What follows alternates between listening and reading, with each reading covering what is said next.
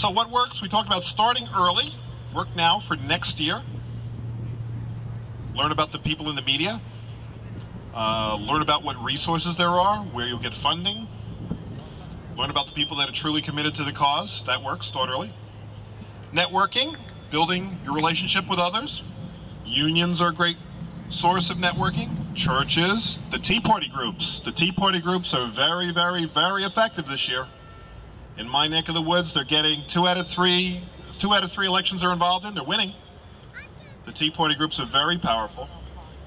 Middle class, middle of the road people, everyday concerns and issues, taxes, quality of life, family court, jobs.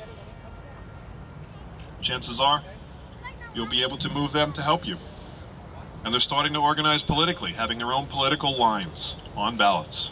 Tea Party groups. Senior groups. Senior groups are another great thing because seniors vote. Seniors always vote. Voting is an, an event if you're retired. Oh, today we've got to go out and vote. Voting is an event. They're going to go out and vote. It's important. They'll also work. They'll stuff envelopes. They'll proofread for you. They'll write for you. They're experienced people. Seniors are a great source, a great network. Who else votes? Government workers. Government workers. Your firehouse, local cops, go to your town hall meetings, learn who all the government workers are. They vote. Voting is an event for government workers, too. Another thing that works is be organized in order to organize. Have wall charts of what issues you're going to bring forward, binders, you're with your literature, stay organized, your forms, uh, maps, databases, your plans. Be organized. Be very, very organized. The more organized you can be, the more you can pass this on to other people to help you. Otherwise, you're a lone ranger. Organization is key. That's where I fail. But organization is very, very, very important. Part of that organization is frame the issues. Know exactly what you're going to talk about, exactly what you're going to attack. You can't reform the whole world. You have to pick your issues. You have to frame them properly. For these issues we're talking about today, they're parents' rights issues. Parents' rights issues, child's rights issues, family rights issues. They're not men's issues, they're not women's issues, they're children and families' issues breaking up families. You can frame the issues further by saying, well, if we fix some of these problems, we're going to reduce a lot of costs. For every courtroom you knock out, could be saving your county, your local municipality 30,000 bucks a day. If it's a full courtroom with a lot of lawyers and stenographers and court officers, and uh, in the background there's corrections officers and administration and plant equipment and costs and cars and you name it, of framing the issue is saying you've got to cut down government costs by making family issues a little better, a little fairer. You might be proposing a mandatory mediation step. States that have had mandatory mediation steps knock down their caseloads by up to 90%. Cheaper, faster, better for the kids. That's an example of reform, and you can frame that issue. Be the one to keep your, uh, another point is what works, be the one to keep the peace in your group. Keep the peace. Any problems, keep the peace. Talk to the people privately. Be the super parent. Parent the other parents, to parent the group. But keep the peace. And develop leaders. Develop leaders within the group. Leaders of different areas. Organize your group.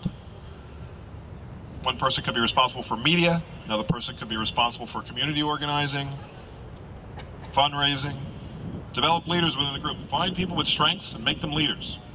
Make them leaders, empower them. Don't exclude people if you don't have to. Invite people in. There's an old expression, it's better to have those angry people inside your tent peeing out than outside your tent peeing in. So sometimes you can get some really active people, get them in, pull them in. Don't be afraid of them. Use their energy, pull them in if you can. Exclude very few if you can avoid it. Pull them in. Next thing is line up funding. There's a lot of funding out there. There's a lot of funding out there. Other victims have money, will fund your cause. There's family values groups. There's money out there. You can get funding. You can co-fund. You can partner up with private companies and co-fund. There's uh, some other talks going on about that. but funding, very important. The other thing is find a mentor if you can, especially for those people you're going to help become candidates. Find other people that have been in politics and now out that will be mentors. Show them where the landmines are. Show them where the booby traps are. Introduce them to the good press contacts. Mentoring is very important. Part of your networking. Somebody retires from politics, go get them. Bring them in.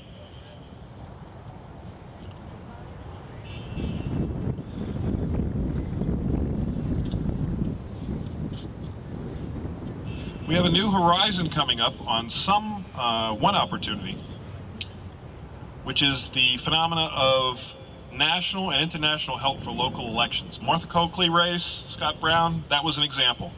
People were called from all over the country, all over the planet to do phone banking to help those elections. If you get to first base with your candidates and other things in line, you'll have a new opportunity to pull people from all over the country to help a good local candidate, maybe in your neck of the woods. So, in closing, it's only the candidate that becomes the foil, the point person for your issues. You need to have candidates. That's the key to local organizing. You need to have candidates. Get the bad candidates out, identify them, get a good candidate in, organize the victims,